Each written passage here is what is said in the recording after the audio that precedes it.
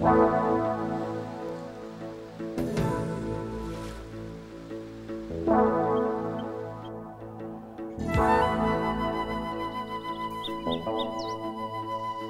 the Alaskan wilderness to the swamps of Apalachicola, from the Rocky Mountains to the Arizona desert, America's national forests are home to some of the most biologically diverse and economically important landscapes in the world.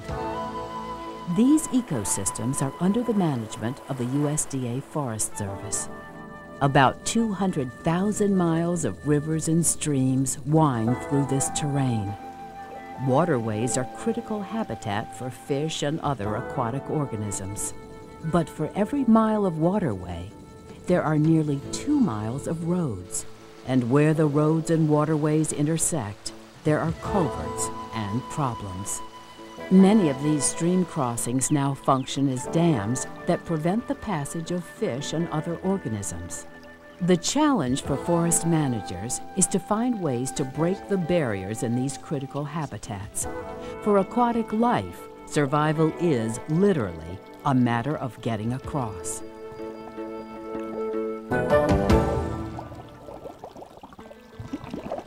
Everywhere we've looked, at every National Forest unit, we have found problems. Um, usually we'll go to a forest or look and people aren't even aware of some of the problems.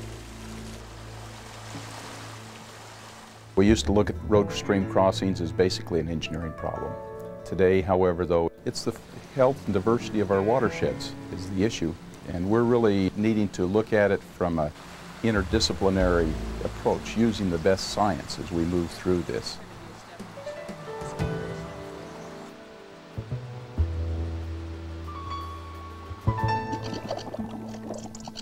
On the Ouachita National Forest in Arkansas, Forest Service biologists Mel Warren and Rich Standage are checking to see if repairing a stream crossing has restored the habitat for some of these fish.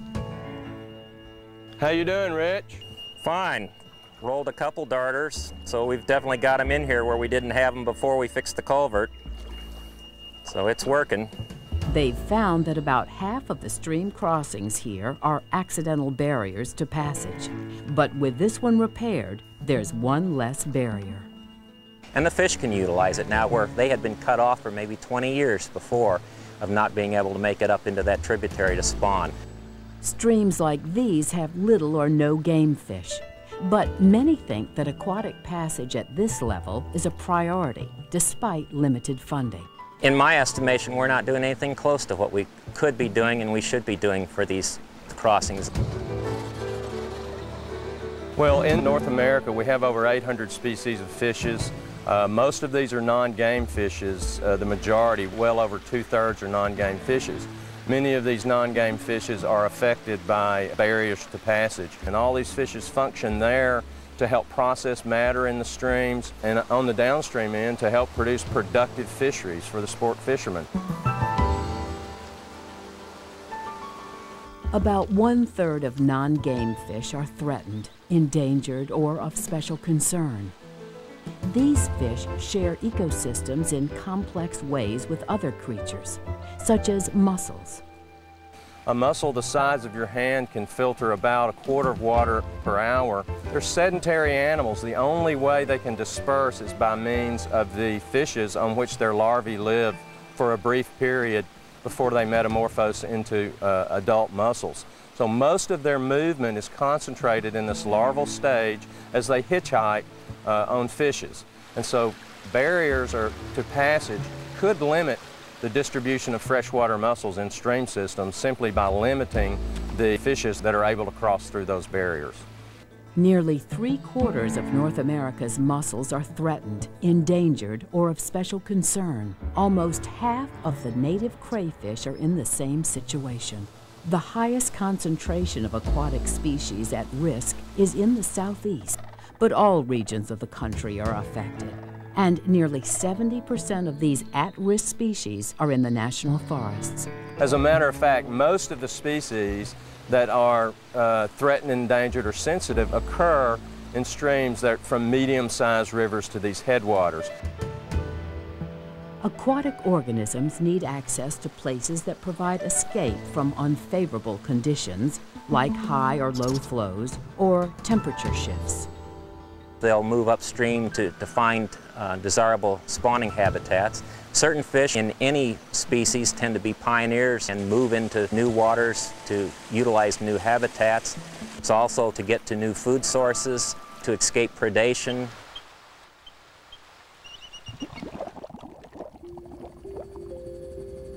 In Montana's Lolo National Forest, engineer and hydrologist Traci Sylte studies the movement of aquatic species. Research tells us that adult trout can swim for long distances at one to three feet per second.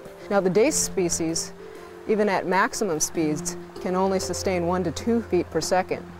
So the swimming capabilities of different species can be very different, and this is a very important consideration.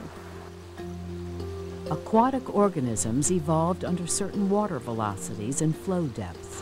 When these conditions change markedly, species can be stressed or killed.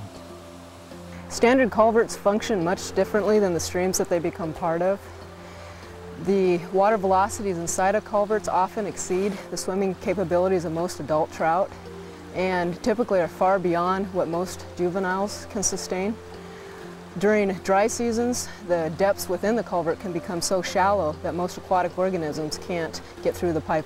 Under natural conditions, the irregularities along the stream margins, the bottom and the sides, create slow velocity areas and resting places for fish and other aquatic organisms during storm events. And then when flows go low, they create little passageways. The big question with all of this is how do we duplicate the stream through the road crossing? In the Falls Creek drainage of Alaska's Tongass National Forest, Traci Sylte has teamed up with hydrologist Mike Furniss to inventory crossing problems. Historically, crossings were about providing safe travel and sometimes passage for adult anadromous fish. And we didn't pay a lot of attention to the juvenile life stage, to other species, to stream processes, or watershed linkages.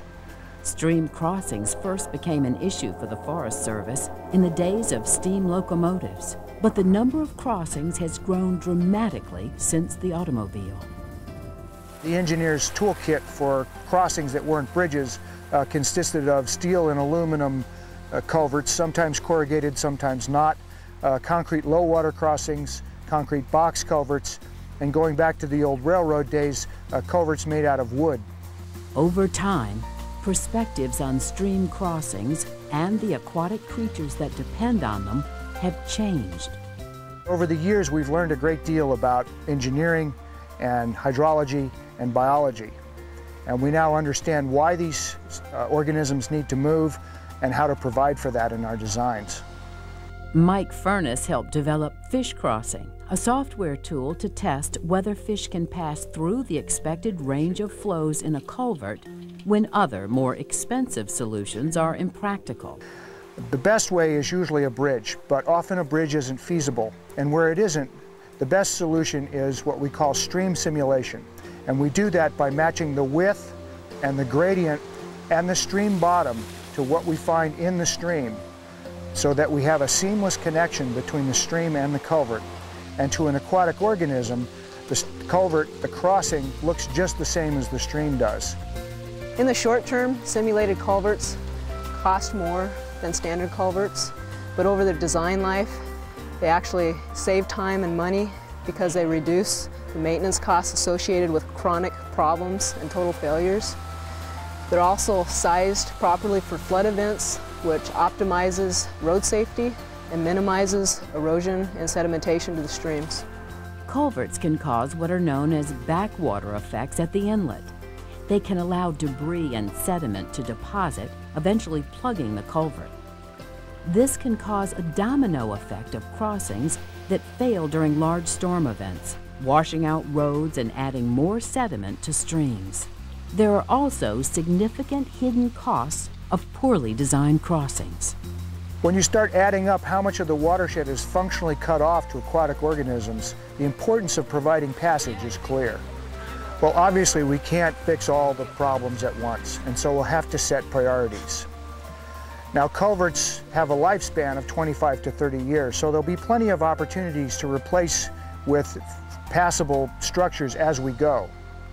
Uh, but we'll have to make sure, particularly away from the arterial roads and in the upper reaches of watersheds, that we don't miss something that needs immediate attention. We can't afford to have a barrier accidentally isolating a genetically distinct population, increasing the risk of extinction.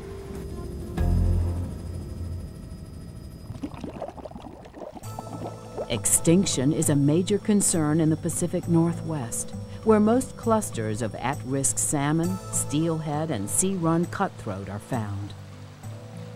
In the Lochsa Selway drainage of the Clearwater National Forest, a multidisciplinary team is taking on problem crossings. The majority of our, our spawning and rearing habitats for salmon, steelhead, resident trout occur in the smaller tributaries of the larger streams. And basically by eliminating the barriers that we have, namely culverts, we can increase habitat access to those habitats exponentially. The Badger Creek culvert has actually been known to be a barrier since 1979 when one of the original Clearwater National Forest fish biologists identified it as a problem. Badger Creek feeds into the Lochsa River, the Lochsa River feeds into the Clearwater River, the Clearwater feeds into the Snake and eventually into the Columbia River. So the, the fish populations that we have here are part of the big Columbia River Basin. Um, what we do here can affect populations overall. From the beginning to the end of construction, the entire project took approximately six months. The Idaho Transportation Department paid for the installation of these culverts. The Forest Service identified the problem and assisted with design and permitting. The Nez Perce tribe assisted with engineering and funding for the project. This area that we're in right now is an aboriginal territory for the Nez Perce tribe. And the Nez Perce tribe has uh, hunting and fishing treaty rights in this area. And in order for those rights to be meaningful, uh, we have to have healthy populations of wildlife, we have to have healthy populations of fish. And so we approach the Forest Service on working collaboratively on restoration activities. One year after restoring passage, this partnership is paying off. I did a spawning survey up the stream and found uh, evidence of bull trout spawning, which hadn't been seen in a while for about 50 years. And uh, just last spring, two steelhead were actually seen in the creek spawning. So that was great. Repairing barrier crossings is now a group effort across the country. Forest Service personnel are joining with other federal and state agencies, with tribes, local highway departments, conservation groups, landowners, and others to do this important work. Mobilizing our resources to address passage barriers really to sew the landscape back together, crossing by crossing, ought to be a priority at every level of the agency. Under the Endangered Species and Clean Water Acts, we're responsible for ensuring free passage of native aquatic species in the waterways of the National Forest System. Not only is it the right thing to do, but I believe we face substantial biological, legal, and credibility risks if we fail to redeem our stewardship responsibilities to these resources. These access corridors, they're the true wealth of our nation. That's, that's how we provide the, the standard of living that is so important to Americans. Along with that standard of living and the quality of life, though, is our interrelationship with our environment. And Americans want to have that relationship with the out of doors. They want to protect other species. They want that quality of life.